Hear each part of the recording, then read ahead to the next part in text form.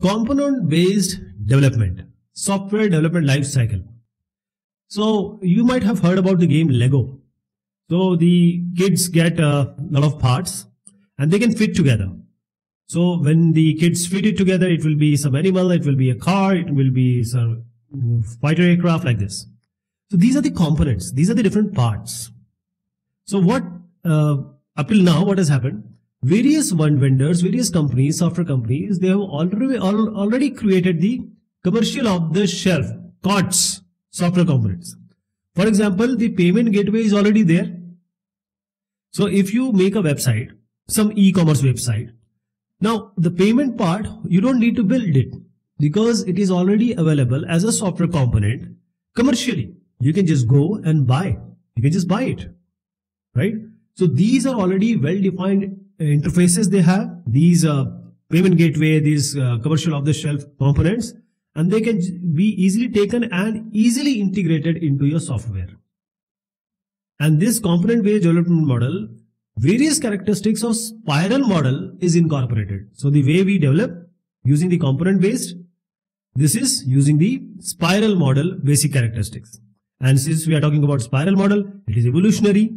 That is why it has to be iterative approach because most of the time you'll combine two component and three component like this to make a complete complete software after combining all the components.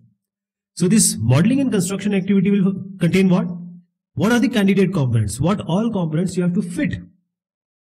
So if you want to fit a software, which component, which part you want to, to make it more complete? Okay. So these components, as I said, it can be, it can be a calendar, if as small as calendar, it can be a payment gateway, it can be some conventional software modules that I just talked about. Okay. Along with this, we have the object oriented classes, it can be taken or the class packages can be taken. All these are called as components only. So this component based development model, it uh, follows certain steps. The first one is what are the available components, whether it are available as a COTS in the market or whether you are going to make it or uh, you know take it from your some company, so say sister company. So you have to research it and then this component integration because it, this this model is all about component taking component and combining it. So what will be the integration issues? What will be the problem arise? What will be the risk, etc. Then some architecture you have made properly. So a car architecture, for example, you are making, so you need where to put uh, the, the tires, where to put the engine in the front or the back.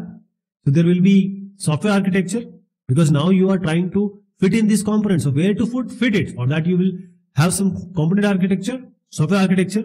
And these now component are integrated as per the architecture you have made or as per the design you have made. And then when you are combining them, you have to do comprehensive testing. Because what you have decided or you have desired, the functionality should be like this. So component based modeling or this development is all about software reuse.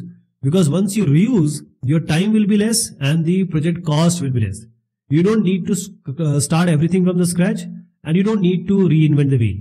For example, here you see, this is a holiday uh, reservation or you can say the hotel reservation.